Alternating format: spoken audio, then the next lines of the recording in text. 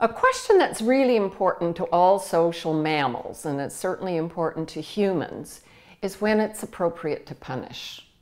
And we see that there are structures for punishment of violators in uh, chimpanzee societies and baboon societies. By violators, I mean those who assault others or who behave in such a way to undermine the stability of the group. And we also know, of course, that in human societies this is the case. And in many instances, people have reflected on the underlying acceptability of when to punish. And in consequence, the criminal law has developed in many, many places, in small groups, in large groups, in whole nations. And the criminal law evolves over time to try to become more and more acceptable to punish only when it's appropriate. And that usually means that the person must have actually performed the action. He must have actually known what he was doing and known that it was wrong, and he must have been in control. And normally, philosophers and others associate this idea of being in control and hence responsible for your action, they associate that with free will. So, for example, if someone is not in control because he was pushed, let us say, then the criminal law usually would, would take that into account and say, well, the person didn't really do it himself. He wasn't really in control. But philosophers have kind of backed up from that and asked the question, well, are we ever really in control?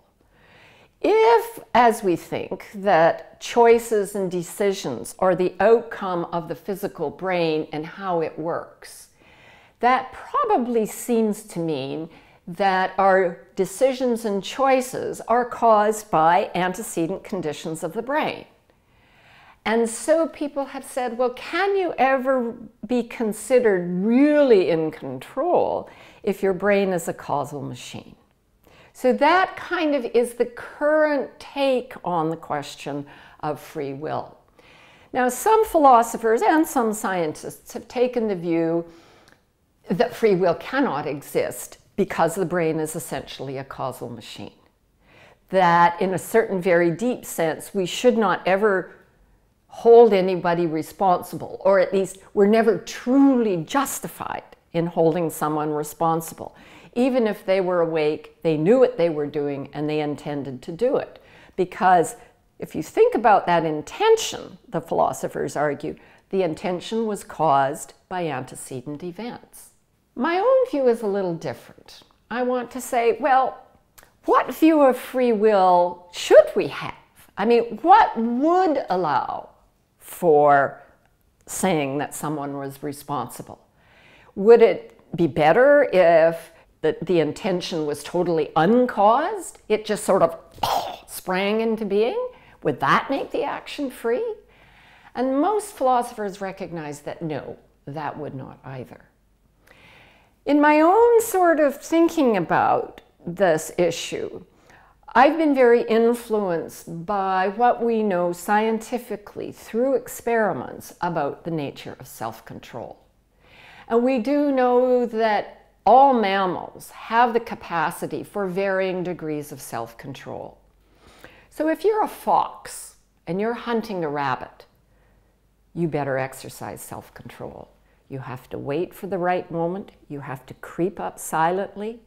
And we know that the young foxes don't have good self-control because the young fox will just boom, tear after the, after the rabbit. The rabbit flees, he gets nothing.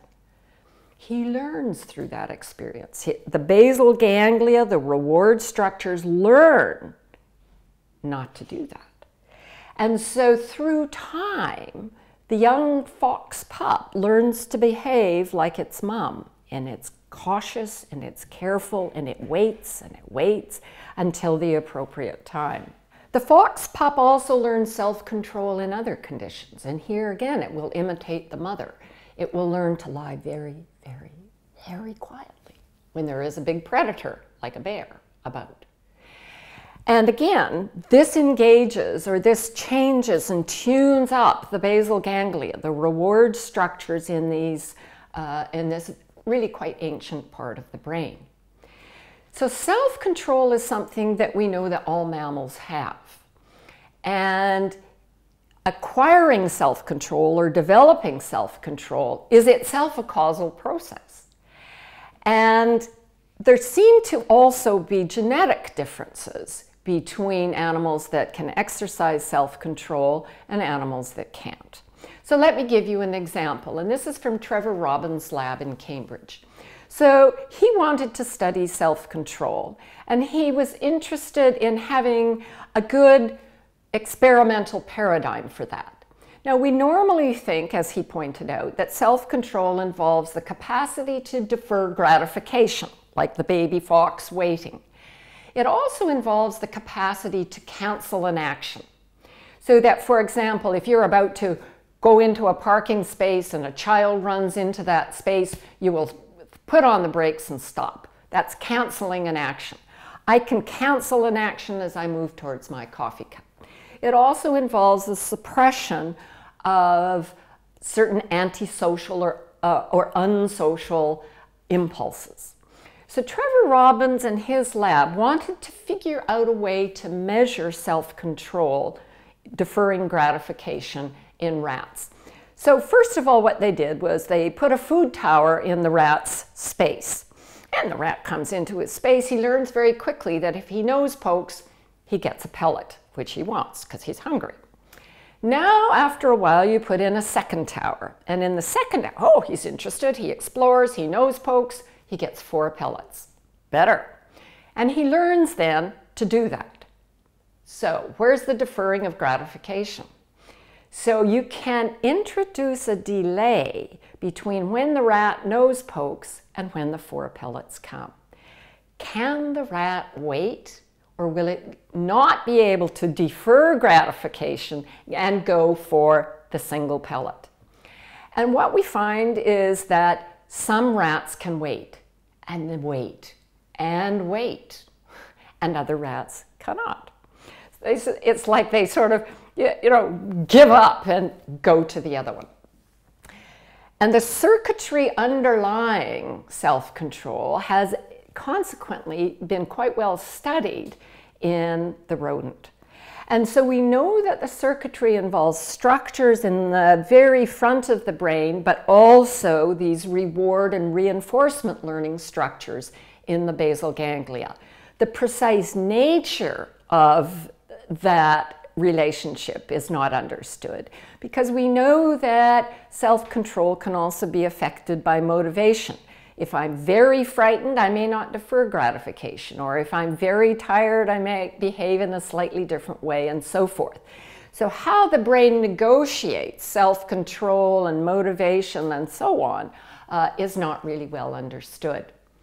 So one way to think about the nature of the free will problem has to do, in fact, with understanding the causality that underlies self-control. Now we know that self-control can be undermined not just by things like extreme hunger and extreme exhaustion, it can be undermined by drugs. So a huge effort uh, around the world has gone into understanding the neurobiology of addiction. And the main addictive chemicals that people uh, have studied involve cocaine, heroin, nicotine, and alcohol. And what is known now is that, I mean, it's going to be a very complex story, and I think only part of the story is in place, but we know that there are very specific physical changes in the reward system uh, in the basal ganglia. And it sometimes looks as though those very specific changes actually are quite permanent. But we know, for example, that if someone is addicted to nicotine, that in certain very specific kinds of experiments, for example, when they evaluate what they could have done in a task, unrelated to smoking, but where they could have done something in a task instead of something else, they're poor at making those evaluations. And so understanding addiction is very, very closely related to understanding the nature of self-control. And here's another important part of what has come into focus in understanding addiction. And that is that initially someone will get a hedonic response. That is, you get high or you feel great from binge taking the substance, let's say cocaine. But always after the hedonic response, there's a bit of a dip, normally. But after someone takes cocaine again and again, what we see is that hedonic response is not very high. The anhedonic response is quite long, deep, and it's protracted in time. Well, what causes the anhedonic response that follows? And the answer seems to be stress hormones go way up. Now, you know what it's like to feel anxious, to feel stressed. It's uncomfortable. So, what does the addict do when they're in this anhedonic trough that goes on for a long time? They take more, which gives them an even lower hedonic response and an even longer dip into the anhedonic response. And this profile, I think, has helped us really understand sort of the conscious experience of addicts, but it's also really helped us to understand the nature of addiction itself. Why there is this anhedonic response remains a puzzle, but that does seem to be just how it is. It's how it is in rats, how it is in monkeys, and it seems to be also how it is uh, in humans. Now, there are other domains where we wonder about self-control, and one of them, of course, has to do with adolescence. Because we know that adolescents, especially in groups, tend to be big risk takers. There's something about being together in a group and being an adolescent that motivates risk taking. So there are scientists who are now looking at this both behaviorally and at a deeper level in the nature of the brain. And one of them is Sarah-Jayne Blakemore in England. One of the things that she reports is that mice, they have a very, very fast development relative to humans, as you know.